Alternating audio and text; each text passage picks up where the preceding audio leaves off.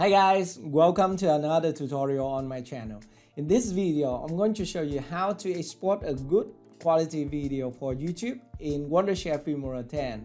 So I got a lot of questions about this topic uh, on how to export uh, video in Filmora 10 and how to export good quality video in Filmora 10 and how to export and upload your video to YouTube and that get high quality uh, in uh, Full HD or stuff like that.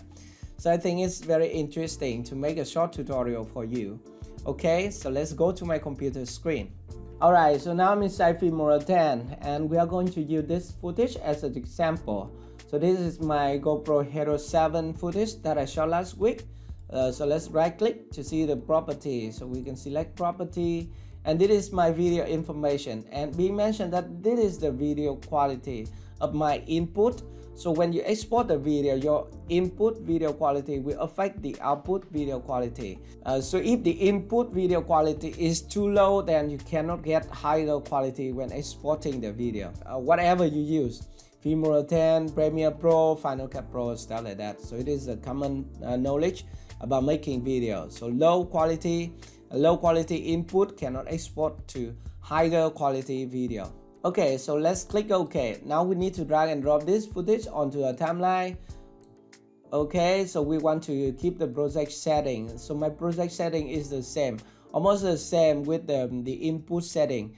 Uh, the only difference here is the frame rate because I shot in uh, 60 frames per second because I want to to make a slow motion video stuff like that okay?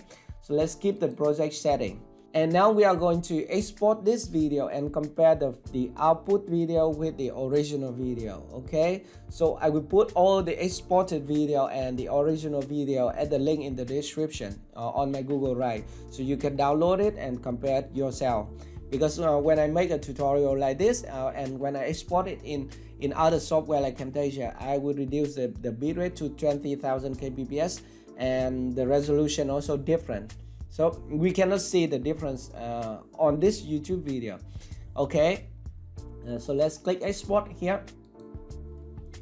And now if we want to export for youtube we, we are going to select mp mp4 here. And then we can click this setting button.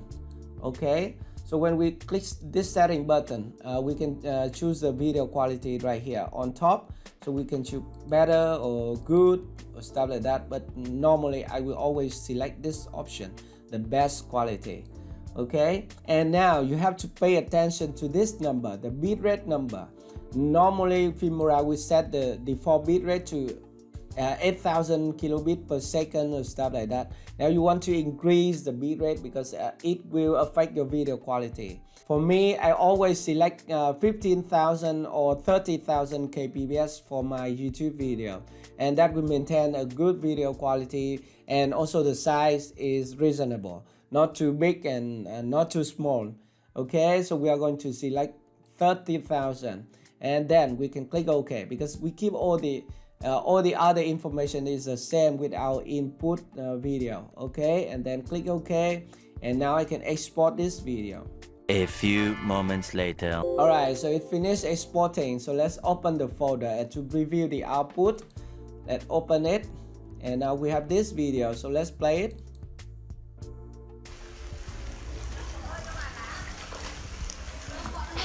very nice right? So this is the exported video and we can play the original video also. So we can uh, right click here and review in explorer to see the original video. So this is the original one. So let's double click.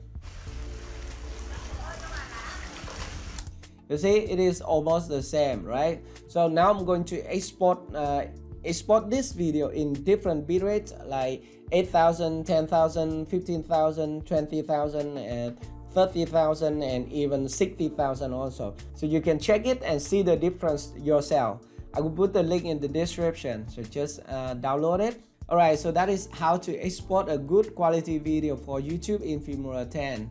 And I hope this tutorial is helpful for you. If you have any more questions, let me know in the comment section below. Thank you very much for watching and I will see you in my next video. Bye bye.